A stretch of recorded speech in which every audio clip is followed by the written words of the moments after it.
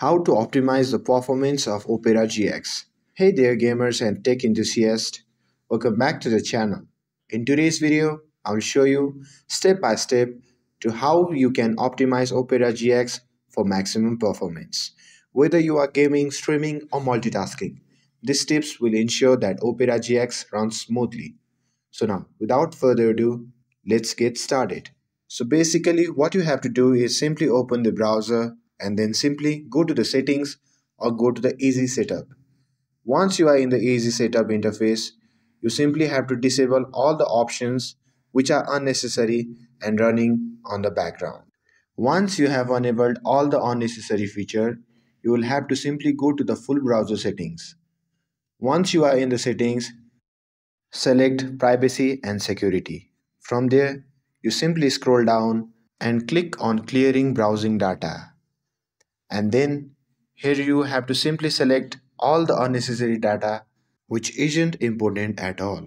Once you are done with that, let's tap into Opera GX signature feature, GX Control, which lets you to manage CPU, RAM and network usage. To do that, simply open the GX Control panel from the sidebar. Once you have opened it, use the sliders to set limits for CPU and RAM usage. Quick tip, for mid-range PC, set RAM to 2GB to 4GB and CPU to 25 to 50GB. And for the high-end systems, you can allocate more. Now, adjust the network limiter to cap bandwidth for the browser, ensuring your games and streams stay lag-free. With these limits on place, Opera GX won't hog resources, leaving more power for your games and other tasks. Now next is built-in ad blocker, which helps pages load faster by blocking intrusive ads.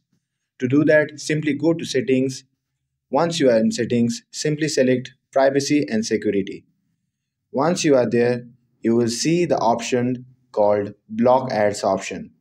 You simply toggle on the block ad option. For extra speed, enable the tracker blocker to stop background trackers from slowing you down. Not only this does improve speed, but it also make your browsing experience more private. Once you are done with that, let's head to extensions. Extensions can be useful, but too many extensions can bog down your browser. So let's clean up the extension.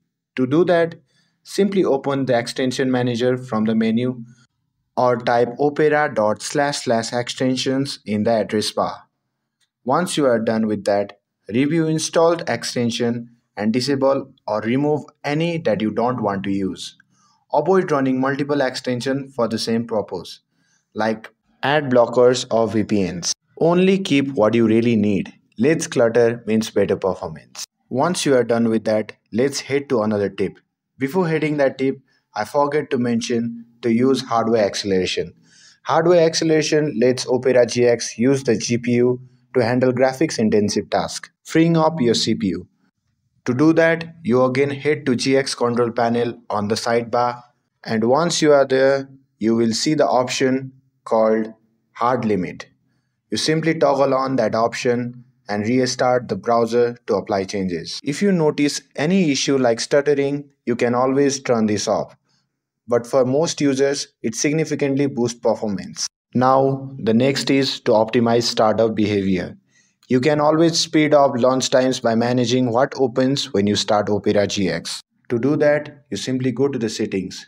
Once you are in the settings, you simply type startup on the search bar. From there, you will simply scroll down and tap on option named begin fresh with start page. Once you have done that, it will remove unnecessary pages from the startup list to keep it simple for faster start every time. Now, let's head to the final tip and that is to keep Opera GX updated. Opera GX is constantly improving, so staying updated is crucial for performance. Check the browser time to time for updates and install them. And there you have it. With these optimization tips, Opera GX should be running at its absolute best. Whether you are dominating in-game or juggling multiple tabs, you are ready to take on the digital world. I hope you found this video helpful.